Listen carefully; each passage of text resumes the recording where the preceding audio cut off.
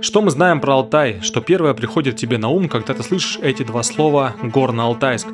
Скорее всего, это горы, реки, озера, ели, туманы, водопад, походы. Или, может быть, шаманы, кайчи, бубны, алтайцы, традиции, древности, пуп земли, шамбала, не побоюсь этого слова. До того, как Алтай не был обласкан блогерами, мы, вероятно, мало что про него знали. Теперь же, в постпандемийный период, это место стало стремительно набирать туристический потенциал. И поэтому мы наконец смогли позволить себе небольшой отпуск, но в рабочем режиме. И теперь мы на Алтае, прилетели в Горно-Алтайск нашей командой для того, чтобы посмотреть, как работает на Алтае туризм, какие здесь есть гостиницы, какие здесь есть трансферы, экскурсии, услуги и все это прочее. Летом я здесь уже бывал в начале июня, но осенью Алтай я еще не видел.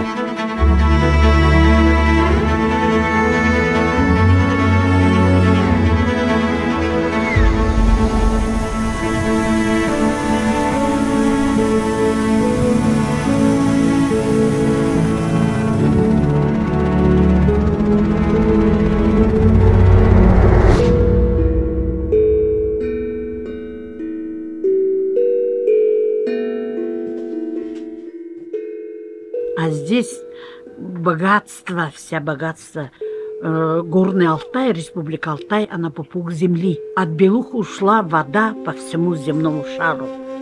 Жили раньше 12 братьев, ну, черные люди, ну, черный рас имеется в виду. И в одном кучке, когда возвращения не могли ужиться. Разные нам до жены, там все. И отец отправил в разные стороны. Ищите себе гнездышко, найдете каждый себе. Те буряты, тувинцы, Азербайджан, все-все эти кыргызы, бурятов даже вот вчера было э, некоторые по, считаем один, два, три по русскому, да, а по алтайскому пире, все совпадает, я поговорила.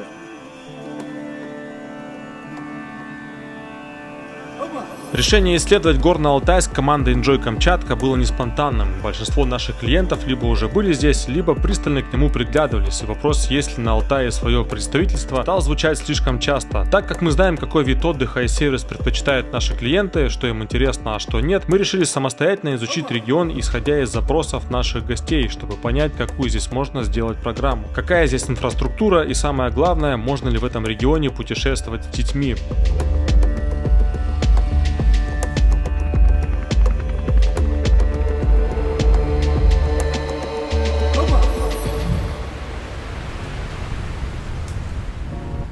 Итак, покажу вам нашу команду. Здесь я пытаюсь сделать на память общую фотку, но все заняты своими делами, кроме Агнии. Ей всегда интересно, что у меня там в мониторе. София – мозг нашей команды, полна мудрости, обаяния, знания о том, как делается туризм изнутри, умеет найти выход из любой сложной ситуации, обладает способностью переставлять и сводить любые элементы туристического продукта. Идеальный тандем с решительным и предприимчивым Семеном. Поговаривают, это именно он придумал словосочетание «Enjoy Камчатка», когда спал в снежной яме, спасаясь от вьюги в зимнем походе. Двое прекрасных ангелочков, Анна и Агния, Агния – это их дети в своем юном возрасте уже знают, сколько действующих вулканов на Камчатке и какой вертолет может безопасно облететь ключевскую сопку. Кирилл Сергеевич, технический директор компании, абсолютный педант во всем, что касается оснащения группы, заведует спутниковыми телефонами, снаряжением для походов, следит за безупречным состоянием транспорта для всех категорий туров, а также непревзойденный рыбный гид и обладатель удочки для ловли нахлыстом. Ну а это я, автор всего медийного контента, который вы имеете удовольствие смотреть на сайте Enjoy Камчатка. Скромно стою по другую сторону экрана экрана, но изредка попадаю в кадр.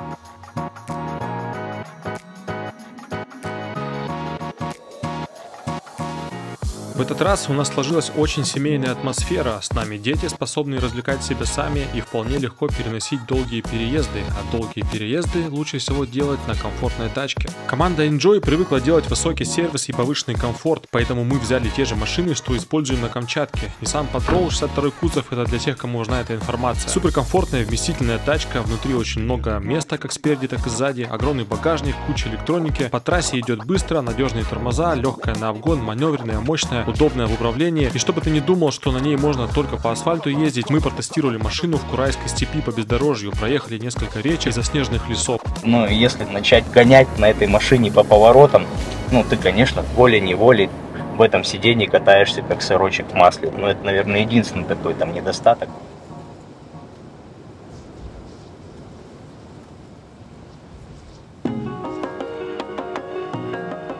Первые два дня это были курорты. Это один был курорт, и второй был просто такое место для тихого отдыха, для людей, которые хотят убежать от чего-то такого шумного, от шумного города. Это такие тихие места, и там скучно.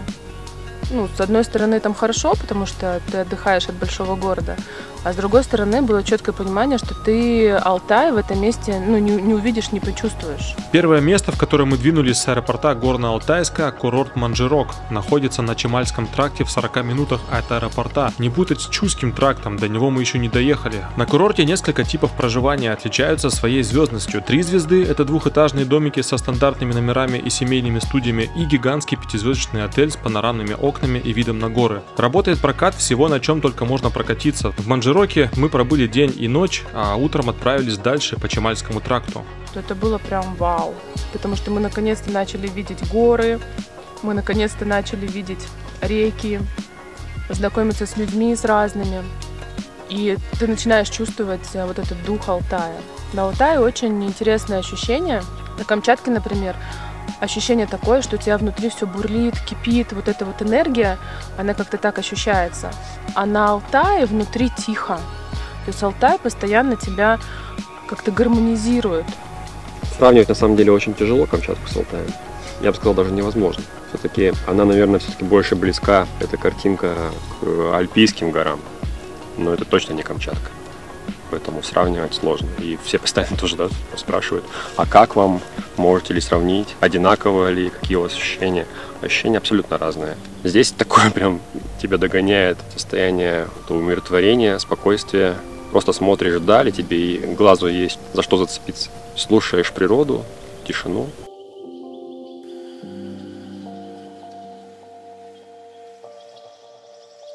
Я уже говорил, что в нашей команде есть специалист по доставанию рыбы из реки, и это Кирилл. Он, конечно же, взял с собой снасти и не смог отказать себе в удовольствии покидать удочку, ведь в горных реках Алтая обитает аж 28 пород рыбы. Ну, мне понравилось, мне вообще нравится здесь э, пейзажность тех мест, где ты, в принципе, можешь выйти на реку и в каких-то, я не знаю, сумасшедших условиях там, во-первых, испытать огромное эстетическое удовольствие от того, что ты, в принципе, там видишь и что ты делаешь. Ну, а если тебе что-то удастся все-таки поймать, наверное, все-таки остальное набор удовольствий. Но у меня в этот раз так не получилось. Наверное, нужно сюда приезжать специально ради этого еще раз.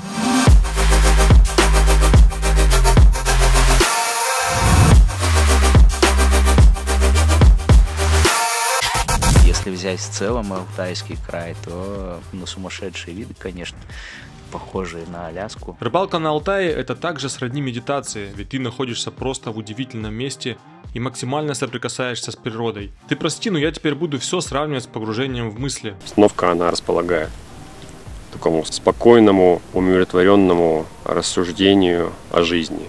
Что я здесь делаю и для чего, почему я здесь нахожусь. Ну, такие вопросы себе задаешь.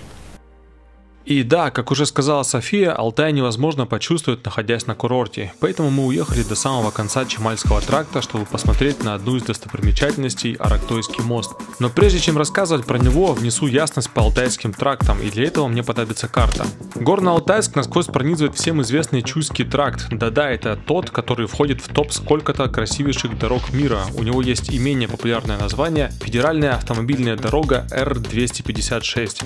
Дорога берет начало в Новосибирске Новосибирске проходит через Бийск, Горно-Алтайск и уходит далеко в Монголию. От аэропорта Горно-Алтайска до села Коша-Гач, это крайняя точка тракта, расстояние 453 километра, что равняется примерно 7 часам пути. Но помимо Чуйского есть еще и Чемальский тракт. Он, в отличие от первого, имеет тупиковую часть, которая заканчивается в горах села Куюс-Кую. Куюс появилась в 1612 году и ему на секундочку больше 400 лет.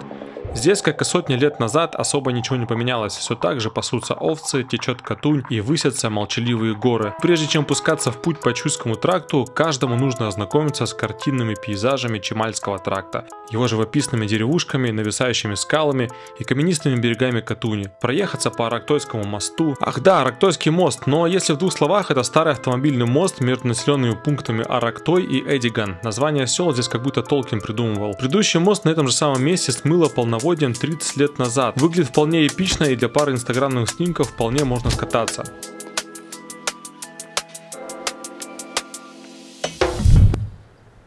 Ну, несмотря на все, место прикольное, надо сказать. Да? Это, видишь, такая прям аттракция. Вот ты приехал, здесь ферма. Здесь есть животные, здесь есть как бы все. Ты можешь покататься на, на лошадях. Там отдельная вот эта вот, наверное, история с конной прогулкой. Место живописное. Круто, что Алтай разный. Читай, да, вдоль реки на лошадке прокатиться, это, наверное, такой прям определенный кайф.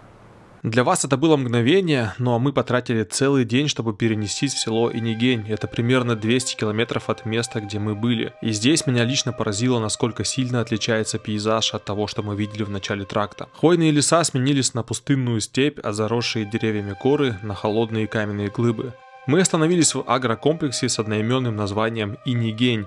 Это вроде как и отель, но мы прозвали его фермой дяди Сэма, потому что вид здесь соответствующий. Не хватает только перекати поля и салуна с небритым ковбоем. По всему ранчо вдоль реки разбросаны домики с панорамными окнами на гору, есть бани и самое главное вертолетная площадка, но о ней я расскажу позже. Недалеко от комплекса есть идеальное для медитации место, это слияние рек Катунь и Аргут. Доехать можно на машине, а к самому слиянию сходить пешком. Вниз мы, конечно же, не пошли, но и сверху есть на что посмотреть.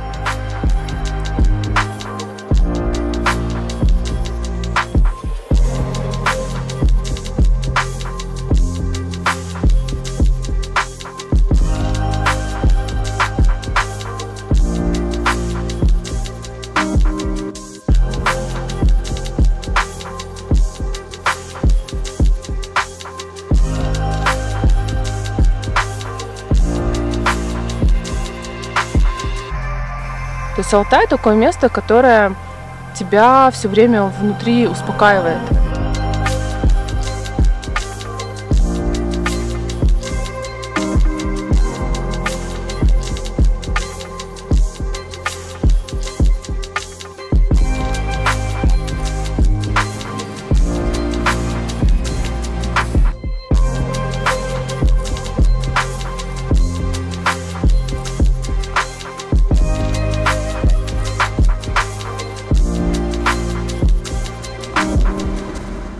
Надеюсь, я не сильно утомил тебя красотой Алтая, но в горах иногда лучше помалкивать и просто получать удовольствие.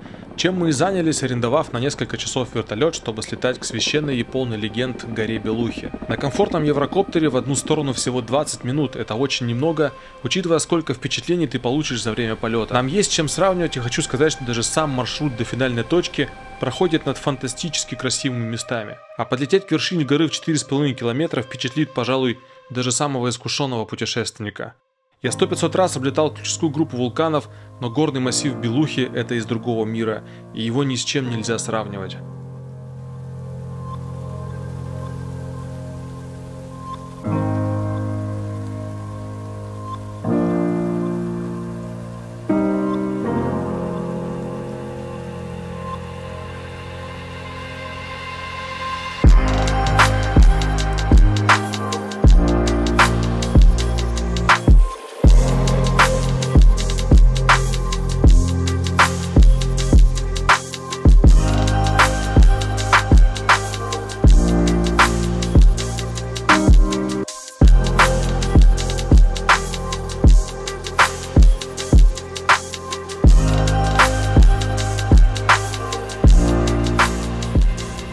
Вообще очень сильно кайфанул от нашего полета на Габелухе. Сначала, когда мы стартанули прям и полетели вдоль Катуни, было так классно наблюдать эту реку с высоты, ее цвет, насколько он реально контрастирует с э, осенними красками леса. Было очень красиво. И когда уже подлетели к Белухе, я смотрю, там такой очень разный рельеф. То есть ледники, какие-то стенки прям вертикальные, хребты. Вот он стоит, прямо белый острый, да? Это жена. Сейчас вот все листья упадут, она вы, выявится Ага. красиво. А рядом нос курносный. Рядом прямо дед брови так прищурено. Нос курносный. Под носом, где, где растут осина. Ага. Чуть э, внизу рот. Там белый камешек видать.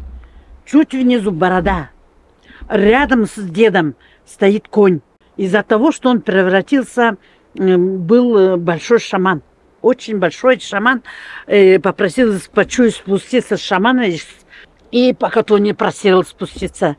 И два шамана здесь, на этом слиянии, шаманили друг друга, кто кого сильнее.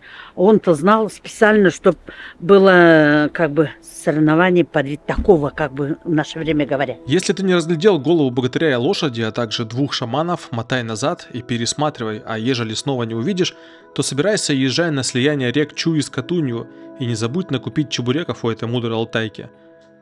А мы пока отправились дальше в сторону села Кош-Агач, Останавливались в туристических местах, набирались мудрости у местных жителей, посмотрели петроглифы, которым примерно 5000 лет, прикоснулись к древности и разобрались, что означают телевизоры в груди и хвосты сзади этих людей. Ну, здесь, видите, у него груди пустой. Он отдал душу Богу. Танцующие воины – это у них ритуальные танцы. Морал. Морал – это безвинное животное, потому не проходит мимо ни через чистилище.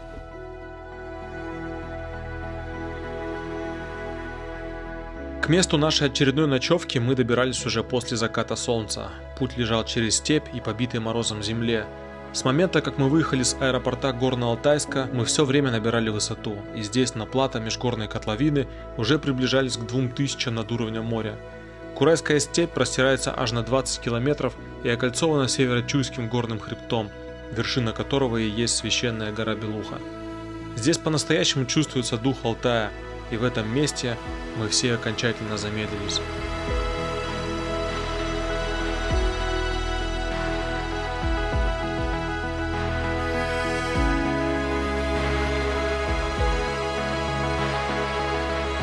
Сезон здесь уже подошел к концу, наступили холода и скоро глэмпинг законсервируют на зиму.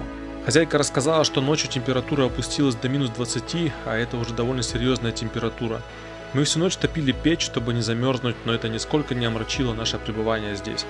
Место по-настоящему волшебное, и с восходом солнца поляна снова нагрелась.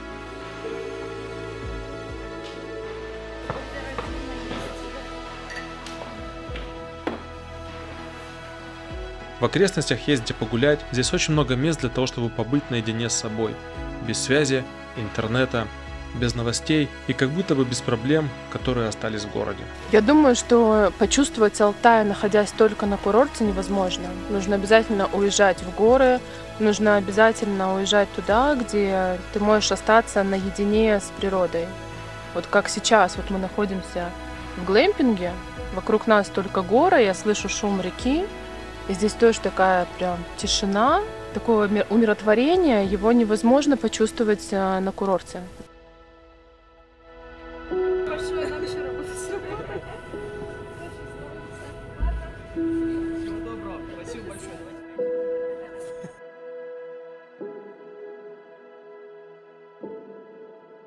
Верблюдам зимой это нельзя подходить, потому что он может человека съесть, потому что э, не хватает пищи. И мы надеваем на верблюдов шины, чтобы они не догоняли человека. История непроверенная, так что гугли. Ну а мы добрались до финальной точки нашего путешествия, село Кош-Агач, то самое, что на границе с Монголией. Здесь нас встретил уже совершенно иной рельеф. Село находится посередине полупустынной Чуйской степи, по которой можно ехать в любом направлении, как по дороге. Растительности нет, но есть несколько интересных возвышенностей, и одно из них гора Джалгиз-Табе. Понятное дело, переводится как «одинокая гора», и второе это урочище Кызыл-Чин, или как его обозвали туристы, Марс номер 3. Первый холм меня не сильно так впечатлил, разве что своей деревянной вышкой с мутной историей, а вот лишенные растительности горы, окрашенные благодаря особенностям местных пород в яркие красные, желтые и зеленые цвета, определенно достойны внимания. Кызыл-Чин означает красное ущелье, здесь 90 миллионов лет назад было реликтовое море. Ты сейчас не ослышался, на месте Алтая раньше была вода. Если интересно, черкани в комментариях, скину ссылку на работу доктора геологических наук. Такая окраска склонов получилась благодаря примеси магеметита, марганца и хрома. Все это смешано с пластами глины, известняка и песка толщиной в 5 метров. Марс-3 наименее посещаемое место благодаря своему отдаленному расположению, но наиболее впечатляющее своими пейзажами. Авторитетно заявляю, как человек, бывавший на первых двух. Здесь мы проводили солнце за горизонт и вернулись в село уже по темноте, где нас ждало еще большее погружение в культуру Алтая.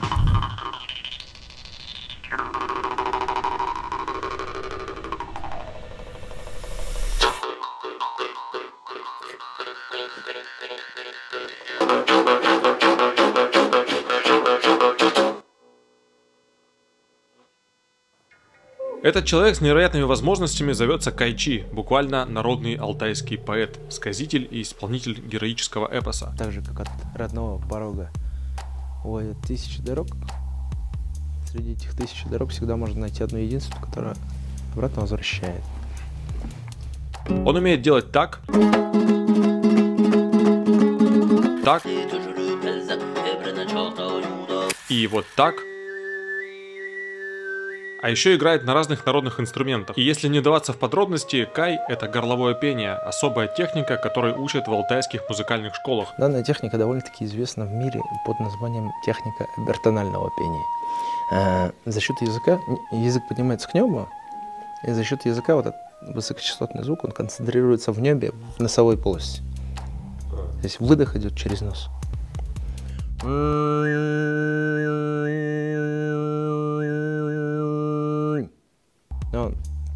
скажем, при стиле кюмей, да, э, то есть от него производный стиль СБСХ, э, данный эффект э, усиливается. Этот свист, он выходит на передний план, становится ярче.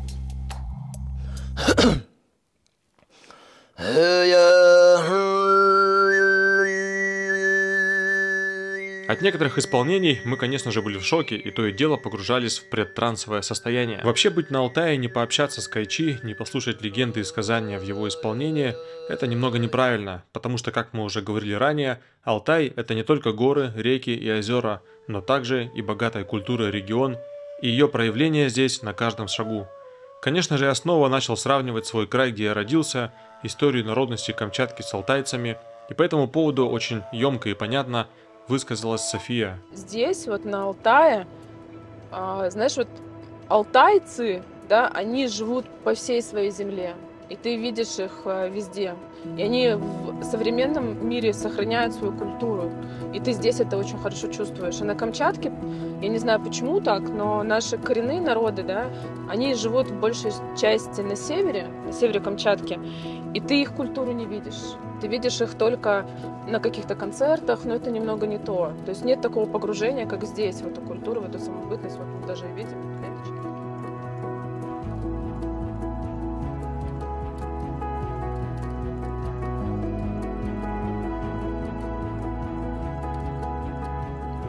За 10 дней мы проехали по всему Горно-Алтайску, добрались до крайних точек Чуйского и Чемальского тракта. Казалось бы, мы видели все.